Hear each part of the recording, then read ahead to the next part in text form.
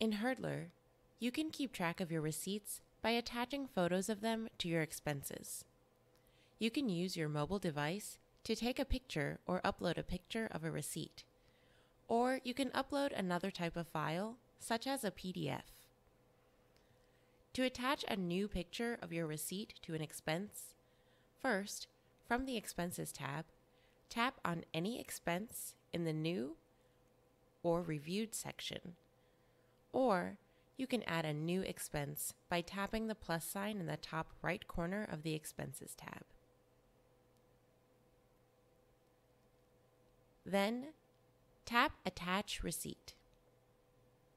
You'll see options to take a photo or attach an existing photo, file, or receipt. Tap on Take a Photo to go to your camera.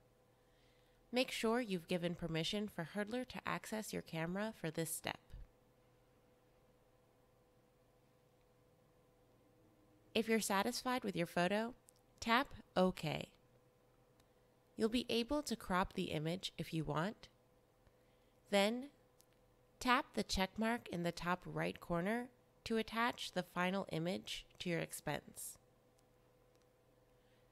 Once you've attached the photo, you can view it in the app at any time by tapping on View Receipt from the expense details. You can change or remove the receipt by tapping on the three dots in the bottom right corner if you need to. Finally, make sure to save your expense. If you have your bank account or credit card linked to your Hurdlr account to automatically pull in expenses, then you also have the option to add a receipt to your account before an expense pulls into your account by adding an unattached receipt. To do this, tap the orange plus sign in the top right corner of the Expenses tab and choose Add Receipt. Just note, you will only see this option if you have a bank or credit card linked for expenses. You can edit the date if necessary, then enter the amount, and tap Attach Receipt. You'll have the option to take a new photo or choose an existing photo or file.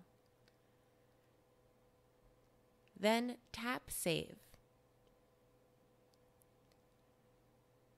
When you add a receipt this way, it becomes an unattached receipt. You can view and manage your unattached receipts by tapping on the gear icon in the Expenses tab. Then choose Unattached Receipts. To attach an unattached receipt, tap on the relevant expense in the New or Reviewed section. Then tap Attach Receipt and tap Choose Unattached Receipt. Select your receipt from the list, then tap Save. And that's how you can attach receipts to your expenses in Hurdlr. If you have any questions, just tap the chat icon in the top left corner to get in touch with our team. We're happy to help. Thanks for watching.